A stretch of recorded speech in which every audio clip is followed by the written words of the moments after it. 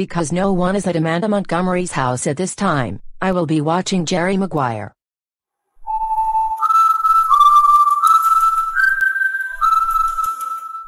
Wow. That 1996 Academy Award-winning TriStar Pictures film directed by Cameron Crowe was amazing. It has an excellent ensemble cast with great actors like Tom Cruise, Cuba Gooding Jr., Renee Zellweger, Kelly Preston, Jerry O'Connell, Jay Mohr, Bonnie Hunt, Jeremy Suarez, and many more. This is one of the best sports films I have ever watched. Oh hell no. It's Amanda and her brother Sammy. That's right. We're here to ask you a question. Now, what movie did you just watch recently? Tell us the truth right now. Well Amanda and Sammy. Both of you will be mad once I say this, but I just watched Jerry Maguire. Wait. What? Oh my goodness. Shannon Ottawa. How dare you watch Jerry Maguire? You know that this movie is rated R for language and sexuality. And plus, you're only 16 years old. You have to be 17 to watch it.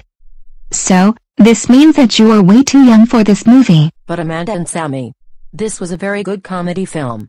I really enjoyed it so much. We don't care. That movie is not mature enough for your age. You should be really ashamed of yourself, young lady. I agree with my brother Sammy. That's it. You are grounded for six days.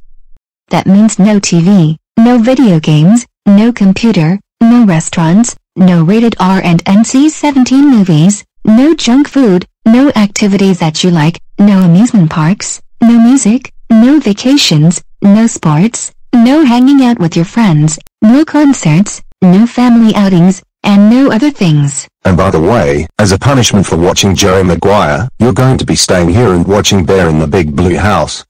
No way. Not that stupid kid show called Bear in the Big Blue House. I don't want to watch it. Well, that's too bad for you. Because you watched Jerry Maguire, you're getting Bear in the Big Blue House for this punishment.